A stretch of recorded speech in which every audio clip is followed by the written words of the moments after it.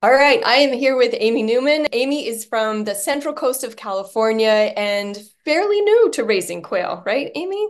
Very new. How did you get into raising quail? Well, we've had chickens for a really long time, over 10 years. We've taken a break and have been back for a few years with chickens and just loving them. I started hearing about quail for me and what a high production of eggs that they made. It's so much food for a small amount of space, and the birds can still be happy in that smaller space. And while we already had chickens and we've done meat chickens before a couple times, it's it's a lot of work. Raising your own food comes with work, that's okay. But I knew I couldn't do it on my own. So if we were to add another project, I knew it needed to be something I could do totally on my own. So that got me curious. I started kind of listening to YouTube. I barely even mentioned it to my husband.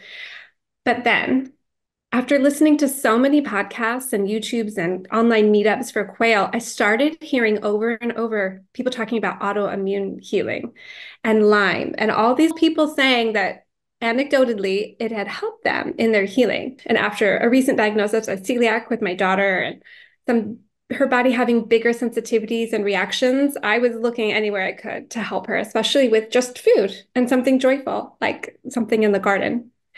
So then the night I told my husband, we ordered 90 Celadon quail eggs. Oh my God, you jumped in. I did. So I started hearing it. And then I did my research and I basically showed my husband, and I actually found published research on EPUB as well, and it being used to treat a lot of things just as a food, not isolating any proteins or any properties, just as a food. So, yes, we jumped in big because we're, we're already out in the garden. We're already taking care of chickens. Why not add them? Also, I did take Quail University. I did take that course. I listened to hours and hours, so did my husband, of YouTube and some podcasts, and um, and I learned so much from those. But the organization of the Quail University and the spreadsheets alone really really helped me in planning and in moving forward for the year on how just doing the math for me. If I want to feed my family five pounds a month of quail, then I need to raise this many chicks. And it, it does the math for you. So those spreadsheets alone are worth the Quail University. And you didn't bring it up and you didn't ask me to mention that, but it was very empowering. I learned just a few tips I'd never heard somewhere else that made such a, a big difference. So, backing up a little bit, you said you started with celadons. What made you decide to start there? Blue eggs. I fell in love with those little blue eggs. Now we have jumbo pharaohs as well. So the speckled will be coming in. I'm excited about those. Um, I would say quail eggs are popular here where I live, but no one had heard or seen a blue egg that I could find. So I also thought, in order for me to add this thing, for it to pay for itself, why not choose something more unique that other people aren't selling? And now I've fallen in love. Their personalities are quite different. Even though there's a variety of colorings, they seem a little different than the jumbo pharaohs. Tell me more about that. In what way are they different? They seem a little calmer and a little more curious to me, just slightly. Whereas my jumbo pharaoh are slightly more reactive.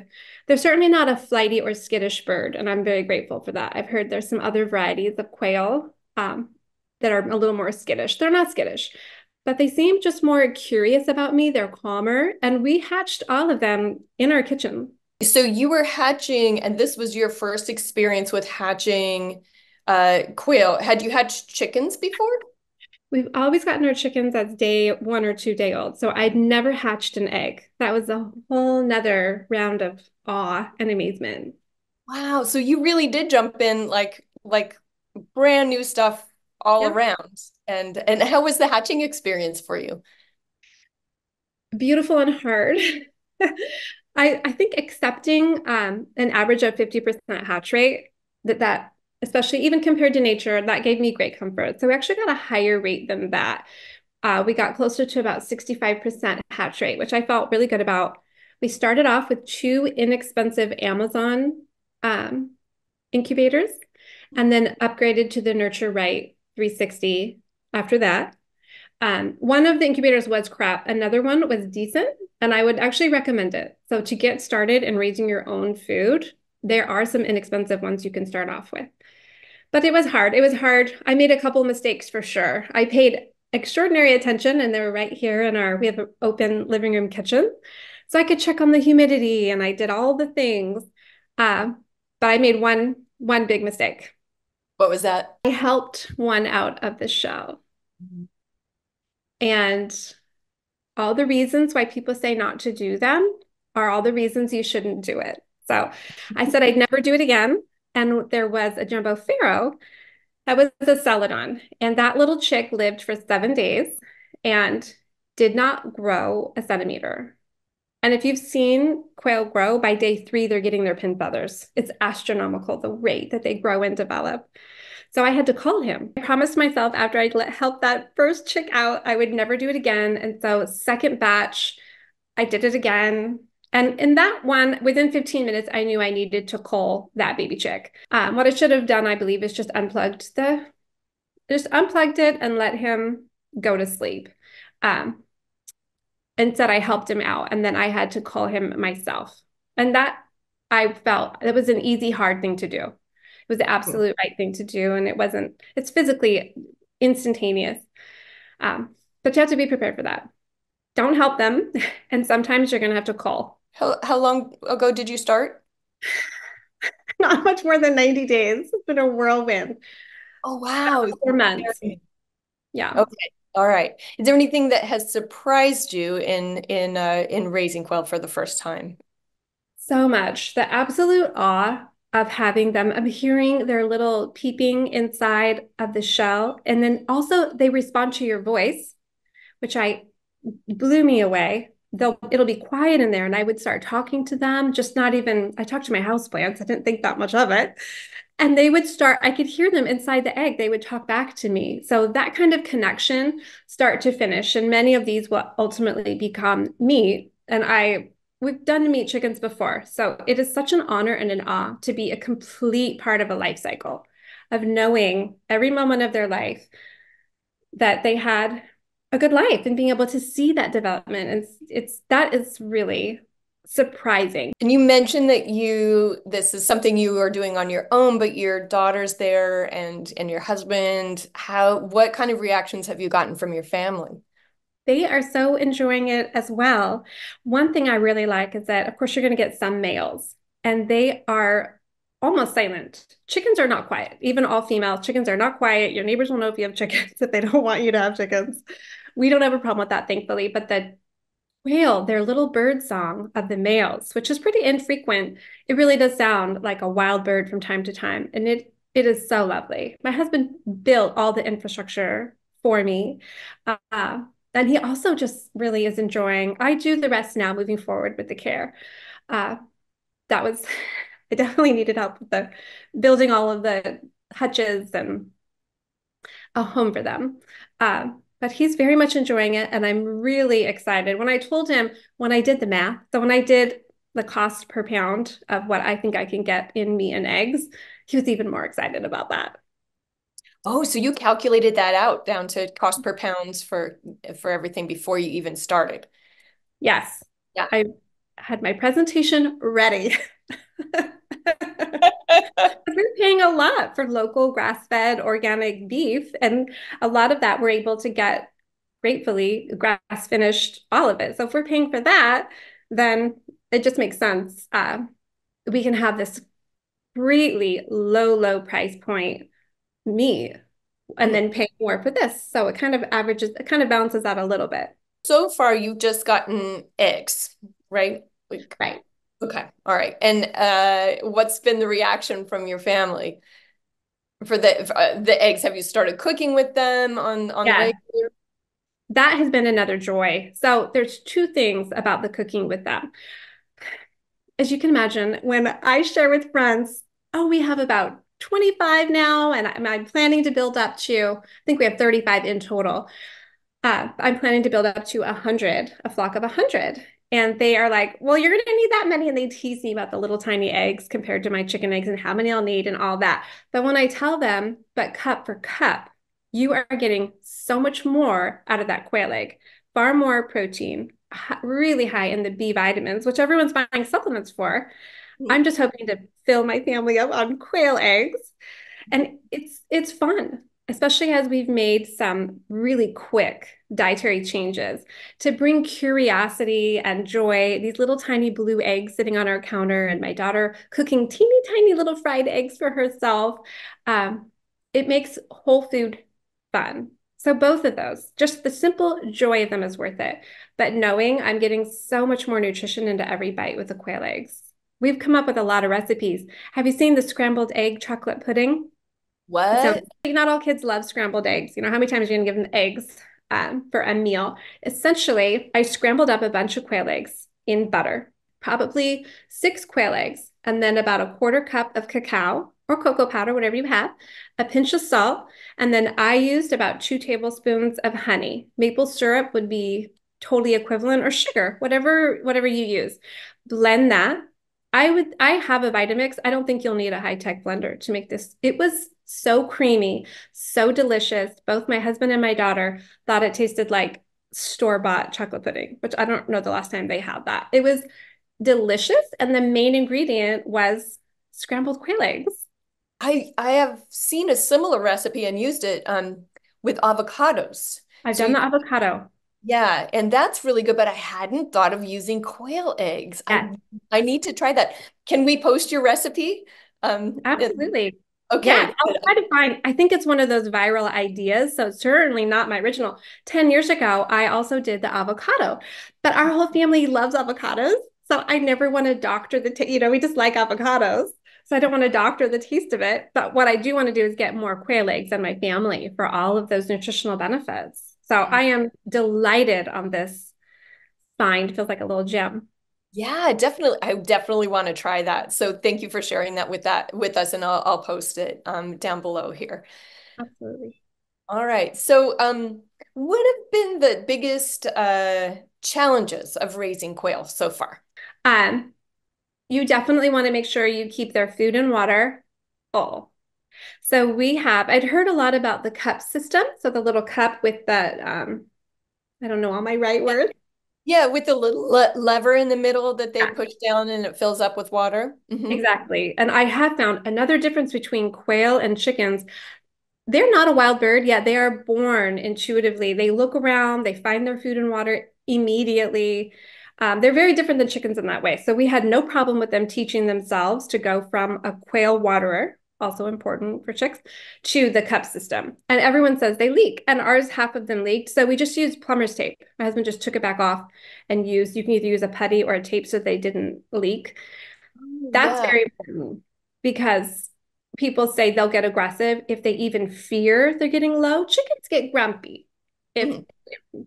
no, quail go no mm, don't do it so you have to make sure it is totally full um, so we have a, a bucket and a, a, gravity system for our cups. We really we really like that one. You have to make sure that you don't run out. So when you so you unscrewed the cups and then you put the teflon tape around the the threaded part? Exactly. it back in and that was enough to stop the leaking?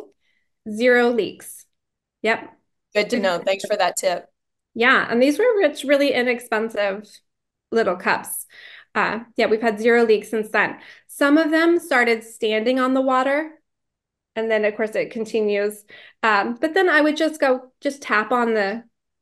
I was, of course, they're my new babies out there, so I was out there all the time. I, and they don't do that anymore. I think it was just one that liked that perch, and I would just try to get him off. And so we haven't had problems. But if you had a leak, you could run out of water, and you definitely don't want to do that when I was learning to identify the males and the females, well, of course, I'm still learning. Um, I, I don't think I did it correctly the first time, but that second time, we went through and did it again. And I looked for the bump next to the vent. So the males have a bump that the females don't. And I didn't catch that the first time. So my husband and I did it together the second time, and I, and I had made some mistakes. But I keep checking for eggs, and my males that are separated have yet to lay. I'm sure I got it right this time. Good. yeah. So just it's just learning, you know, a learning experience and uh, making sure you're paying attention. I know with chickens, there's a lot of auto and automatic stuff, and um, quail are even more hands off. So finding still a way that they're in a location, um, I could imagine it could be really easy to not notice that you have a really aggressive male. That might be. We had some some of the not exactly scalping, but I could start to see like you might see in an overbred chicken. I was starting to see that. So I found the aggressor and he's no longer harming his friends. So you're separating the males out right now, and uh, so you haven't had your first butchering experience yet. Is that right? That's this weekend. Okay, so butchering is not new to you. You've done that. Correct. I yeah. have. Yeah, only two rounds, but you know, about 50 chickens perhaps total. Um, yeah, and that is again, when you're there from start to finish, it's an honor. Mm-hmm. I feel just gratitude and um, there's no reason for guilt or shame over being a part of the cycle of life so it's not it's not easy to know that you are ending this life in this moment but it, you just do it in gratitude knowing that you did your best and maybe made some mistakes along the way but you did your best um, so i feel really good about that i think this one i love the idea of the little tiny complete skin on, but I'm not going to go for the dunking and the defeathering and all that in my butchering. So I'm just getting the three buckets. I've got my decent shears, not the hundred dollar one. So I'm just going to do uh, just basically harvesting the meat. And I would like to actually save the livers. I love chicken liver and turkey pate. So yeah. I'm going to, I'm curious. I'm only doing six to start with. Mm-hmm. And so uh, I'm actually really curious to see what I can harvest from the organs to cook either for my dogs um, or save all the livers until I have enough to make it worth the batch of pate to really utilize as much of the bird as I can. Oh yeah, yeah. I would love to know how how that turns out and and what you think about that when you get all all done with it. Yeah, I'm glad to share. I've heard of others uh, growing quail just for dog meat to feed their dogs because it's so it can be so clean and small space and I don't have space for that. I want to feed my family first. My dogs get plenty of good food, but some organs would be good, I think. yeah, it's a nice treat every once in a while, right? Yeah. You mentioned that you chose to have celadons because, you know, nobody in your area is raising them and it might be something different because you wanted to ultimately like have the quail pay for themselves. Can you tell me more about that? Mm-hmm. Yeah, my goal, especially because, um, well, to be really clear, however one is able to feed their quail or feed your chickens or whatever your feed is, is great and the way a chicken and a quail is able to convert that into meat and eggs is great, whatever that is. Not everyone has access to organic, and not everyone is able to allot a budget to either start that way or do that. So there's zero judgment on doing that. However, because we do take so much energy and time to source local, we try to do organic, we are using food as part of our overall healing and wellness. I wanted to spend the money on the organic feed. We are prioritizing it. And it can also set us apart in the marketplace because others are not offering organic quail eggs. So, another reason why, if I, I can make it simply pay for itself, just pay for itself, then um, I can charge a little bit more because the feed costs more. But then I can up that even even more because you just can't get organic quail eggs around me. So I feel like um, like when we got chickens, I wanted to get four, and my husband said we have room for 12. So get 12, sell the eggs, you know, it pays for itself. And then buy more seeds for the garden with that cash, etc. So I'm thinking the same for the quail is to not not overdo my tipping point of time and energy because feeding six feeders is one thing, but 24, you know, there's a tipping point for everybody on just because they're small. so starting slow and building up uh, that I do hope to differentiate myself in that way. And then my family gets the benefit. Yes. And I would love, I love your idea of renting um, the incubator. Mm-hmm. Yeah. And yeah. Catching, catching at home program. Yeah. Yeah. So I'm not sure how much of a business I would turn that into, but simply selling the fertilized eggs mm. so that they could invest in just getting started. And then whatever feed is important to them or they have access to is great because you can create again cup for cup you're getting so much bioavailable nutrients that are so easy to digest. Eat them in the form of chocolate pudding. Yeah exactly. Exactly. I have done um Now, not everyone does raw eggs, but I eat my own raw chicken eggs and I will put the shell washed in my Vitamix. And I have made myself smoothies with that as a free calcium supplement. Uh, you could bake it and then it's no, you know, don't use a raw egg. You could bake it and kill off any perceived pathogens and then put that in your Vitamix. So I'm going to play with the um, quail eggs. Wait, back up a little bit. I've never heard of this. So you you can take your your shell, your chicken shell shells or, or quail shells and mix them up in a Vitamix and then you like make a powder out of it and exactly. then you can add that to smoothies? You could, but I do the easy route. Just like I don't make hemp seed milk, I just put hemp seeds in my smoothie with water and then it becomes creamy and high in mm-hmm. minerals. So what I do is I wash my chicken egg. I don't wash them generally, but before I consume the shell, I wash it with soap and water and then I put the egg in my blender and that's that. And then I make a smoothie. So it's bananas and blueberries, the, the whole, whole egg. The whole egg. The whole egg. Okay. And so in Vitamix, it grinds it up so that you can't like you're not chewing on your on your You're not chewing. You're not chewing. Someone who is looking for that, you're probably going to get a little bit of a bite, like a um like a chalky, you know, at the you're going to get a little bit of that if you're looking for it. Um, but a free calcium supplement in, I believe, a really bioavailable way is great. Now, if you don't do raw eggs, and many don't, and many shouldn't for lots of great reasons, you can bake them in the oven to dry them, killing any pathogens you're worried about, and then put that dried eggshell without a raw egg and do the same. A lot of people are doing that for their chickens, but I just crush up my eggs and give that to them. I've never had a problem with pecking. Okay, but for yeah. me. Yeah, I've heard of like drawing the shells and and grinding them up and feeding them back to the birds, to chickens and quail, but I haven't had I've talked to anybody who's like actually used that themselves for a calcium supplement. And yeah, what a great idea. Can't hurt. Oh, I don't believe it can. so I'm gonna try it with the quail eggs, but they're much thicker. Mm -hmm. So we'll see if it's, you know, still enjoyable. Oh yeah. Yeah. I'd like to know how that goes too. That's sure. So I really appreciate you, Amy, sharing your journey. I'd love to check in with you to see because you've got goals of of you know selling the eggs and and selling hatching eggs and kind of becoming more involved with your community that way. And I'd love to follow up with you later on to see how that particular part of your journey is going. I would be so so glad to share. It's been such a joy. I have no regrets. So I highly recommend Quail University cull early, cull hard. And you can do this. You can do this with free things off of Craigslist. You can do this whatever feed you have access to, and as you go along your journey, you'll you'll figure out what's important to you. And um, but just getting started and having that access to just the eggs, you don't even have to do the meat.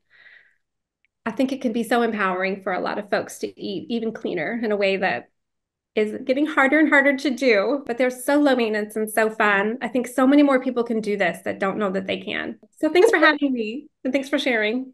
And I think this interview will help inspire other people who are just getting started. So appreciate you taking the time. All right. Thank thanks, you. Amy. Bye bye. Bye bye.